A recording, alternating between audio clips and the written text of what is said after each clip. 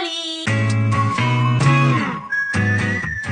como veis por el título os traigo un vídeo en el que me gustaría hablar de los mangas que desearía que licenciaran en España. Y bueno, he decidido hacer este vídeo por dos razones. La primera es porque ya em, estamos ahí a las puertas del Salón del Manga creo que este vídeo se va a subir justo a la semana del Salón del Manga y también porque, no sé, me apetecía un poco compartir cuáles son esos mangas que más me gustan, que ahora mismo no están publicados en España y que me encantaría tenerlos en papel, poder disfrutarlos. Así que no me voy a liar más y voy a empezar. La primera obra de la que quiero hablar es una obra que en verdad no quiero que se publique, sino que se recupere de una vez por todas y es Kimi ni Todoke o Llegando a ti, como le puso la editorial Planeta hace un trillón de años y hace un trillón de años que paró esta obra. Y es que de esta obra se publicó hasta el tomo 6. Es una obra que ya se terminó, ya se ha concluido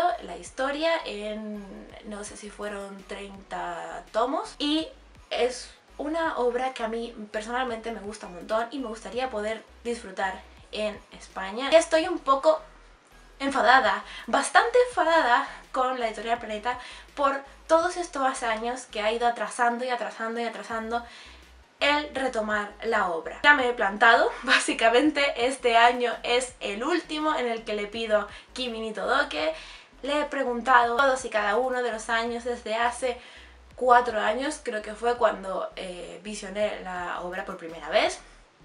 Y de verdad no creo que haga falta una carrera universitaria para estudiar la posibilidad de recuperar Kimi ni todo, ¿qué? ¿Vale? Quien no entienda el chiste es que las carreras universitarias duran cuatro años y Planeta lleva cuatro años diciéndome que va a estudiar la posibilidad de recuperar Kimi ni todo. Si este año no dice nada de Kimi ni todo, que algo que me dé esperanzas para decir, vale, la van a sacar, de verdad, paso totalmente y voy a leerla en inglés.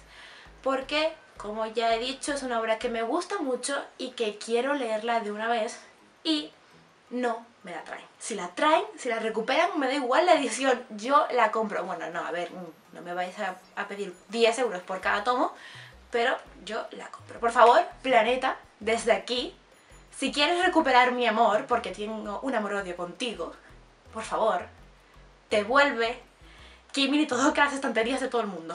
El siguiente manga es otro que también deseo con muchas ganas, y ese es Haikyuu. Es una obra que muchísimas personas en este momento estamos pidiendo. Es un Spokon de voleibol, para quien no lo sepa todavía en estos momentos de la vida.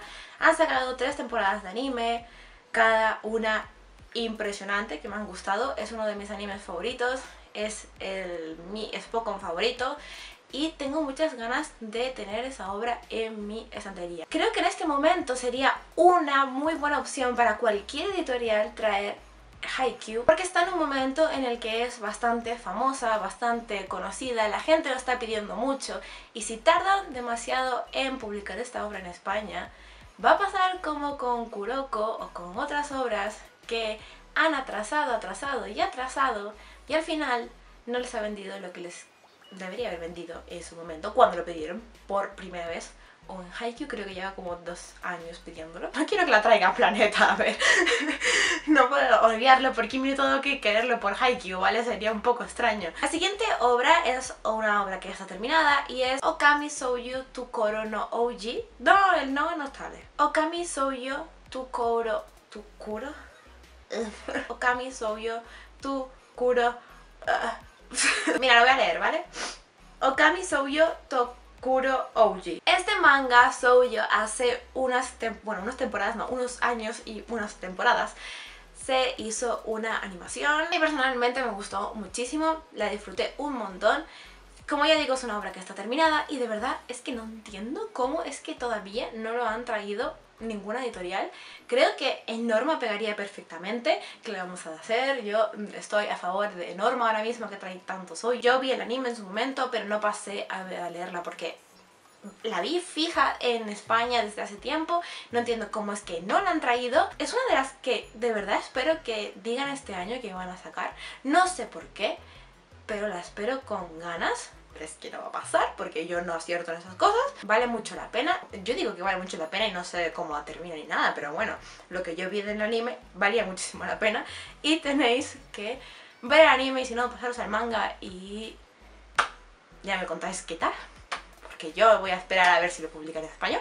Y esas tres son las que más, más, más ganas tengo de que publiquen y sería feliz con que esas tres las publicaran este año. Sería maravilloso, o sea, sería un la super bomba para mí. Dejadme en los comentarios si también os gustan estas obras, cualquiera de ellas. Y también recomendarme alguna que otra obra shonen, soyo, spokon, lo que queráis en los comentarios. Dale like si os ha gustado, suscribiros para no perderos ninguno de los vídeos que se van a estar subiendo y nos vemos la próxima semana con un nuevo vídeo.